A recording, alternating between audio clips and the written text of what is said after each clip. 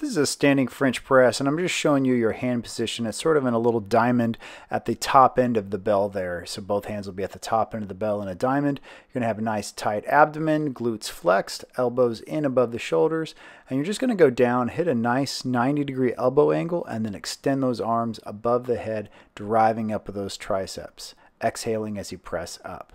And we'll show you the same thing from the side here. Again, glutes flexed, abs flexed. We're lowering the dumbbell down, hitting that 90 degree angle, and then driving up, extending with those tris.